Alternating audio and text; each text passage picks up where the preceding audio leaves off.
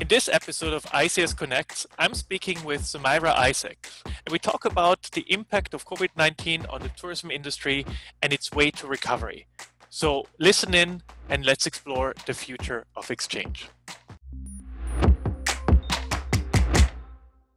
Hello, everyone, and welcome back to ICS Connect. I'm here today with Sumaira Isaacs, the CEO of the World Tourism Forum Institute and a friend of mine. Uh, welcome to ICS Connect, Sumaira. Mathias, thank you so much for having me. Sumaira, um, I want to get right into it. Um, the tourism industry has been affected quite a bit.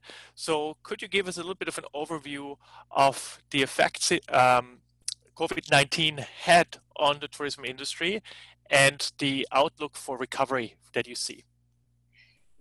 So, Mathias, I would like to start with the overall global picture of uh, what the travel and tourism uh, uh, food chain looks like and, where, where the numbers were just uh, in 2019.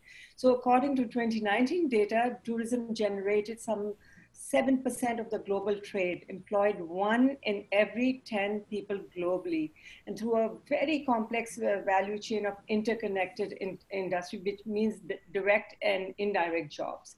For some countries, it can represent over 20% of their GDP, and mm. overall, it is the third largest export sector of the global economy. Due to COVID, international tourist uh, arrivals decreased by 56%, and uh, something like 320 billion dollars in exports for from tourism were lost in just the first five months of 2020 more than three times the loss and uh, that surpasses the uh, the uh, the global economic crisis of 2009 the 2003 SARS outbreak and even uh, events of 11 September 11 2001 combined so you can imagine how huge the impact has been. Scenarios for the se sector indicate that uh, international uh, tourist numbers could decline by 60 to 80% in 2020, which would translate into a drop in visitor spending from 1.5 trillion in 2019 to between 310 and 570 billion in 2020. You know, that's like staggering. This yeah. over 100 million di- direct tourism jobs at risk, many of them in micro, wow. small, and medium sized enterprises, which employs a high share of women and young people. Mm. Informal workers are the most vulnerable. Overall, the road to recovery based on the GDP trends and earnings will stretch right into 2023 geography, um, as for the geography, if you follow of, of the pandemic, China leads, followed by the developed uh, economies with emerging markets coming the last. Sector-wise, essential retail and telecoms are the first to rebound. Oil and gas and autos will be the last. Travel and tourism, real estate and capital goods and other corporate sectors are somewhere in between. Mm-hmm. So, um, if you if you look at um, kind of the recovery and what's been happening so far, um, you you mentioned 2023 as a, a goal of where it rebounds completely. Would that be back to 2019 levels in your opinion, or does it take a little bit longer? No, they, uh, I mean, by some estimates, they are saying that even with uh, 2016, 2017 levels. Okay, wow. Uh, and um, but what will happen is that the recovery really, really depends on, uh, um, you know, uh, adaptability of the governments. Governments are taking a, a, wide range of measures in response to the outbreak. The, the world tourism industry is, said, I mean, it is a slow recovery with global outbound travel uh, numbers expected to recover to pre-pandemic levels only in 2023, also predicted that the international tourism receipts will only rebound nominally in 2022. So even 2021 or 2022, the, the forecast doesn't look very promising. Could you say, when you look at different areas, like you look at um, individual tourism, leisure tourism, business tourism, you look at um, cruise tourism, all of those different sectors and yeah. areas. Is there kind of a differentiation which one will recover quicker than others? you know, right now it's all a one big melting pot. Everybody yeah. is in it together, and uh, the the thing is, the governments only understand the big data, and the big data uh, of uh, is in travel and tourism. It's not uh, just in one uh, vertical you know they understand the language of the big data. So we try to analyze um, um, about 15 to 16 different data is coming in from all, all over the world. Or you know there's so many tourism economics there's, there's str there's unwto we have our own data as well and you merge all of that and the picture starts uh, crystallizing. What what is clear though is that domestic tourism is expected to fill part of the demand supply gap mm-hmm. at some destinations and increase occupancy rates at hotels. However countries that rely heavily on foreign tourism are finding and that relatively small domestic is not enough to fill the gap faced by the sector. You know, so um, additionally, um, you know, there is an impact because of the Chinese outbound uh, tourism market uh, is expected to have a knock-on effect on destinations worldwide because there was so much reliance on this market. Mm-hmm. And prior to the pandemic, Chinese travelers um, uh, were contributing something like 9% of the outbound travel numbers globally and 18% of international tourism receipts. And um, then uh, there's another very uh, interesting um, statistic is the data from OAG. The flight capacities have decreased by at least 50% across the globe for, for the week beginning, I'm just telling you, from June mm-hmm. 15th onwards, compared wow. to the week starting January 20th. Yeah. So, so there is a ripple I, effect all over. I just been on a plane uh, a week ago going from Singapore to Canada, and I can tell you, like it was way less than fifty percent, uh, yeah. and the airports are quite a deserted place right now. So it's sad um, to really see that happening. Um, the you mentioned governments uh, a little bit before, and I think they will play a, a, fundamental part moving forward in, in, in the recovery. But there is so many sectors that are affected by COVID-19. So what do you what you see is the perceived value of tourism to governments these days? So kind of like where where are we on that value kind of like um, totem pole so to say in in terms of um, recovery efforts? You know um, the role of the governments as we can see have enhanced. As I said they have become uh, big uh, you know, and and uh, very relevant under the, these circumstances. It's only and uh, the governments who can pull this situation together. So for them, so we've, um, you know, I've been doing also my own town halls and we've been talking to so many stakeholders from all around the world, tourism boards, ministries. So our organization engages a lot with governments, you know, because we, we bring the governments and the private sector together on, on the same uh, platform. And, uh, and what we, we um, the sound bites that we are picking up, this, uh, that they, uh, their perceived values are around creating new social values on more sustainable tourism development.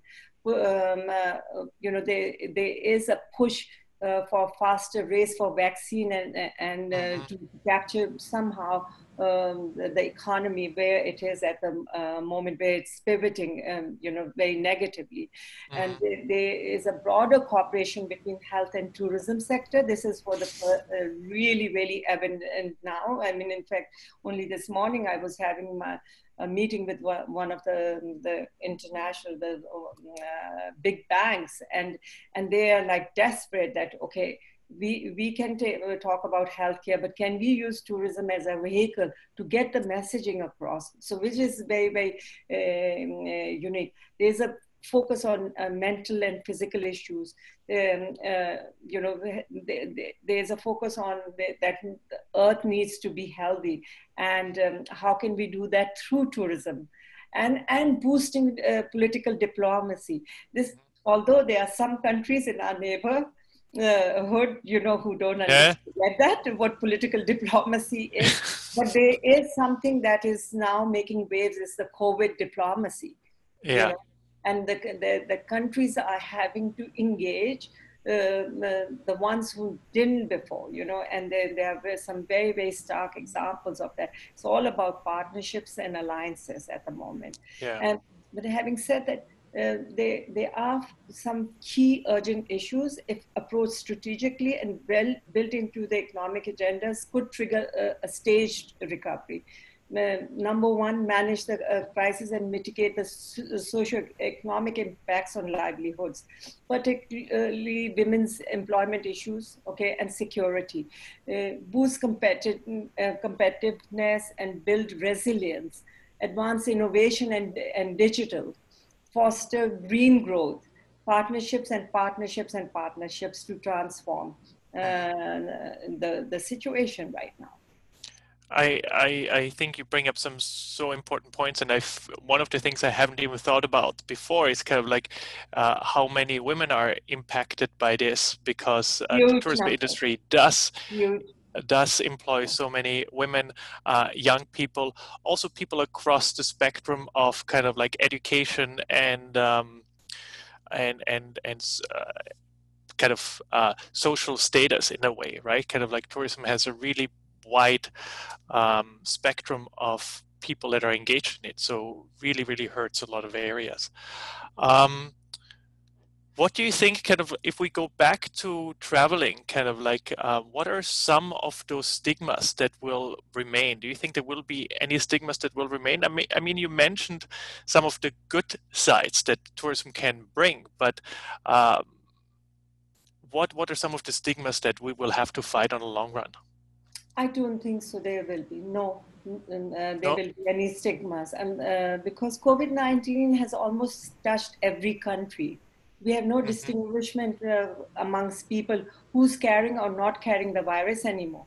It can mm-hmm. be anybody, right? And mm-hmm. Uh, the, the, virus um, is not sparing anybody here, whether they, they are president or prime ministers or, or the Joe Blow um, on the street for the first time, the entire world has single com- common enemy, enemy to battle and fight off. Mm-hmm. We have protocols on health and tourism and power of responsible communication, which is everybody um, uh, can share and uh, you know everybody can help identify safe destinations and uh, so it's really the world has become flattened they're talking about flattening the curve on the virus but the virus has actually flattened the curve on the world itself. But will it not be that kind of like countries that have bigger economic uh, kind of like possibilities and kind of like um, so to say the the developed world in in quotation marks right uh, will they not have an easier time recovering quicker and leave some of the emerging countries behind you know uh, yes Absolutely, and that, this is um, uh, I'm, uh, I was in discussions with uh, with an organization who are at the forefront of of um, the uh, the the road to the vaccine. Okay, and uh, and their biggest concern is exactly this: that you will have a situation where the developing countries uh, will have the vaccine and the sorry developed countries will have the vaccine and the developing countries will be left behind. But there are a lot of institutions right now uh, big um, organizations like world bank asian development bank. Some of these big organizations who are funding some of these researches are now coming behind. They form um, uh, associations just to fight this aspect um, of the pandemic and um, that nobody gets left behind. Already we are seeing in EU there's an, uh, you know, uh, there, there's a real, real push now uh, that um, basically, you know, they're creating funds whereby, uh, you know, just to push the vaccines uh, that the, the richer countries will buy stocks for the poor countries. And a lot of uh, countries have contributed to it. Some, some even mid-range countries have, have started contributing towards um, these kind of funds. But, you know, again, our neighbor, you know, the, the richest of rich, we are still waiting, you know, the, for them to put their hands in the pocket. So I think there, there is a big big concern for that to happen. But there is at the same time, I'm very confident because I've, I've spoken to a few people that there's a real, real mitigation that is already taking place, you know, and, and that this could happen. But just going back onto that question of the, of the stigma, I think what will happen is perhaps mm, travel will look and feel and how we book will be different. There will be longer queues, six feet apart. Um, uh, you've already experienced face masks. however, there will be travel seasonal, seasonality may change in the short term. Mm-hmm. Why? Because governments will need to turn lockdown measures on and off in order to keep demands on healthcare systems at a manageable level. Mm-hmm. This means there will be windows of opportunity to travel that last one week or, uh, or even days before the lockdown happens again. Mm-hmm. Even with airlines desperate to get airborne again, seats will be limited, and we could see dramatic increases in pricing during those windows of mm-hmm. opportunity mm-hmm. of travel. So this this could become a norm, you know, that mm-hmm. mm-hmm. you hit a destination and then you find out that there's been a lockdown back home. What's happened between UK and Spain recently? Mm-hmm. Right? Uh, that, that's probably going to be more short term, right? The long term, yeah. hopefully, we will not face this ongoingly. Yeah, absolutely. Yeah. Um, and I, I just want to mention also kind of like because when we talked about emerging countries, developing countries, and you mentioned um, the effort to buy vaccines from some um, countries that uh, richer countries that starting doing that for countries that can't afford as much. Uh, I think also on the tourism side, we we need to see ourselves as having a responsibility because lots of emerging countries rely on tourism income even more than many of the developed countries when you look at some of the uh, distribution of income that uh, or their gdp um, and um, I think we need to keep that in mind for ourselves and try to help those destinations get back on their feet quickly. Uh, also, in the meetings and incentives and business travel industry, uh, understand that business travel causes business, it kind of like uh, enhances business. So as sooner as we can start kind of dealing and working with kind of the whole world again, the better it will be. Uh, the faster recovery will happen, in my opinion. Yeah. Um, I just mentioned the meetings industry uh, as well, and um, so you you worked in the meetings industry as well, um, so you know it well. Um, we see that a lot of the conferences and so on have moved into the online world. Um, there's a lot more online offerings. I, I would say also in China, uh, which started meeting again. We see more regional, national meetings. Do you think that that will impact international kind of like tourism in the long run that we will see meetings going slightly different route and decoupling themselves a bit more from tourism because it goes into these online offerings more and goes more into kind of like more dissemination of knowledge less about kind of like traveling. Yeah you uh, you've just touched the, the, the, the, point here. You know, what uh, one thing the current pandemic Mathias has shown us is that how important technology is for maintaining and facilitating communication, not simply for work purposes, but for building real emotional connections. In the next few years, I believe we can expect to see this progress accelerate with AI technology built to connect people at a human level and drive them closer to each other, even when physically they're apart. The mm-hmm. line between physical space and virtual space will uh, forever be blurred, and we are already yeah. living through that. We are we are experiencing uh, that. The fact that you and I are doing this Zoom call today is a fine example of that. Exactly. As with the majority of COVID nineteen related adaptation, it remains to be seen whether changes in the MICE segment will remain once the health threat has subsided. There, there are a lot of uh, uh, uh, guessworks happening at the moment. So I, I, I, want to avoid that because there's no clear data uh, to support that what the trend could look like.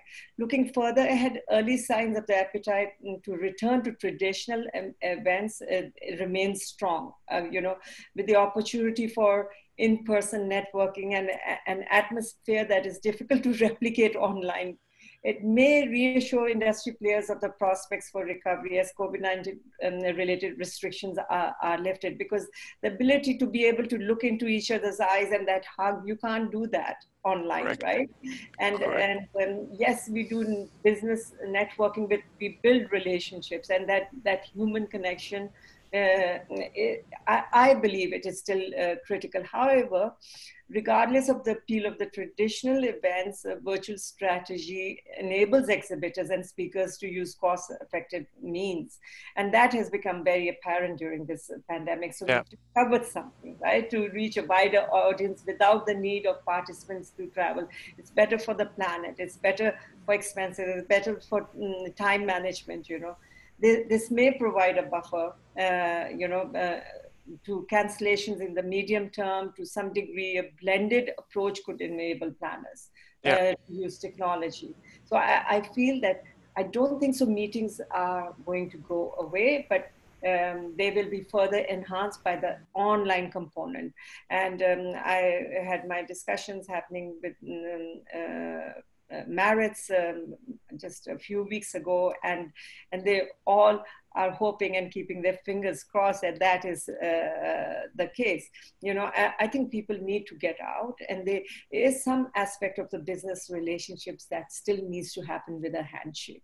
Absolutely. You know, with the tr- traditional values, you can't do a handshake through Absolutely. online Absolutely. And um, in absence of a scientific poll, I give you a very unscientific one.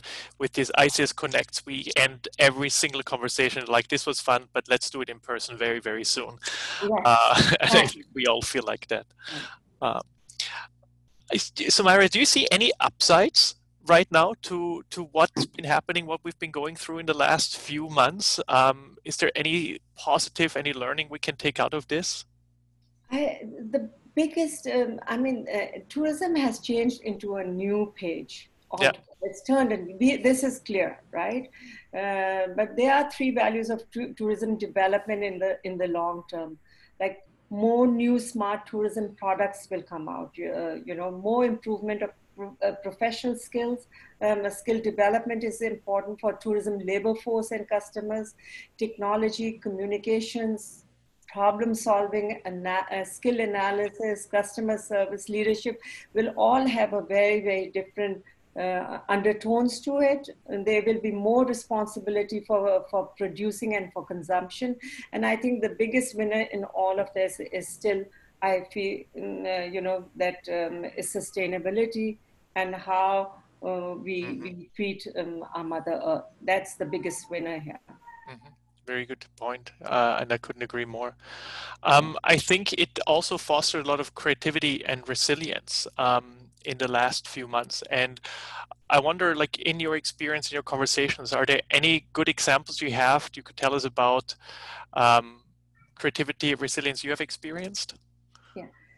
Yeah, I do actually, and it's uh, with uh, my own organization, World Tourism Forum Institute. So uh, it's a really interesting case study because I joined them uh, officially. I was already engaged uh, with them. There was an engagement period for nearly a year and a half, but officially I uh, I joined them in January 2020, and in February 2020, so, so, it was really it's a so I I joined the organization because they have a global investment forum. That's the flagship of the organization. So everything in the organization was built around this one conference.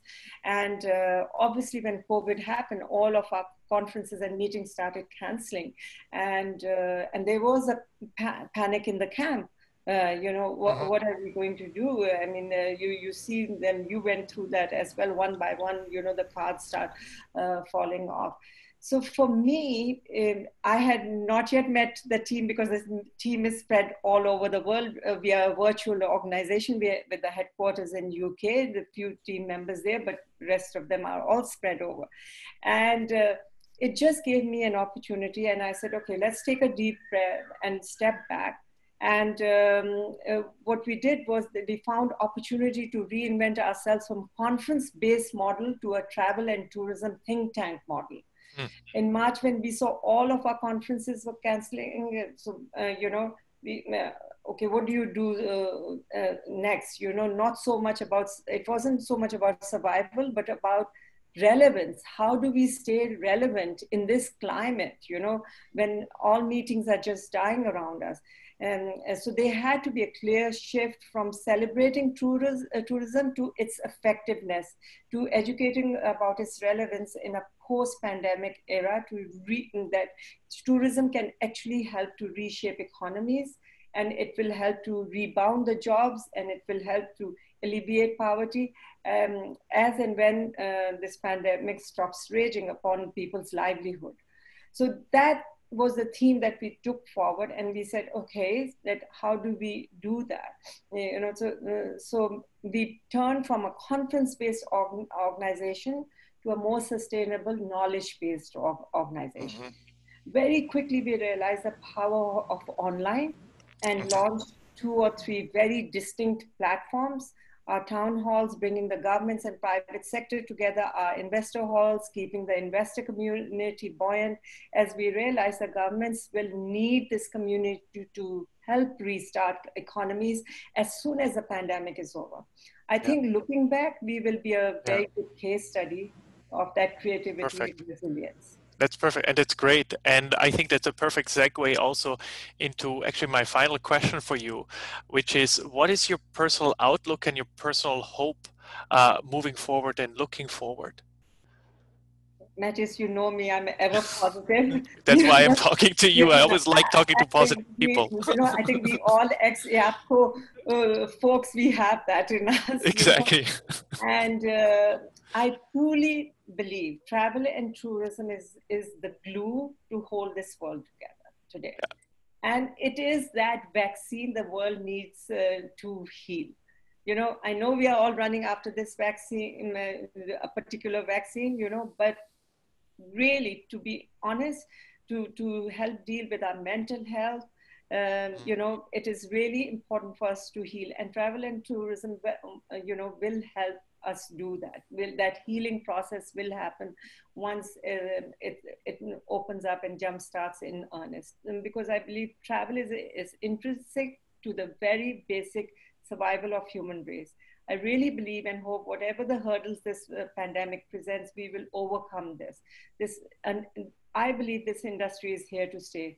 But what's the next normal is being defined as we speak, and we we need to just embrace it. Yeah, I couldn't agree more. And it's travel and meeting people around the globe and these international connections. Um, every good thing that we look at in our world, every good development that has come out has somewhere started with a connection with people, with people meeting each other.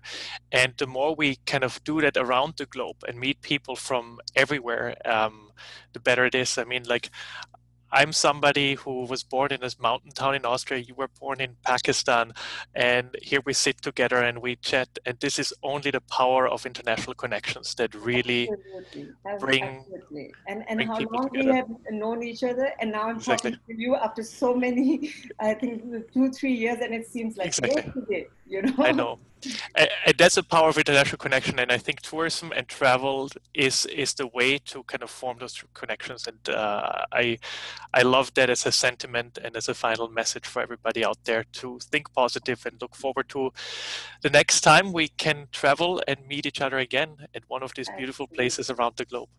Thank you Mathias.